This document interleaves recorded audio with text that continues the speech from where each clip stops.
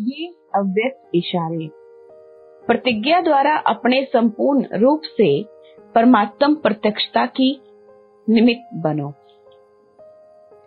Number 22 बाप दादा के सामने तो बहुत प्रतिज्ञा की है, लेकिन अब से लेकर सेवाएँ मणि के और कुछ नहीं दिखेंगे।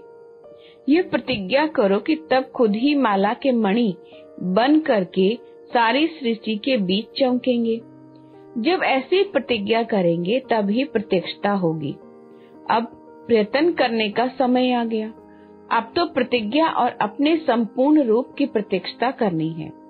साक्षात बाप सम्मान, साक्षात्कार मूर्त बनना है। ऐसे अपने आप को साक्षात्कार मूर्त बनाओ और प्रत्यक्षता का झंडा लहरा जाएगा।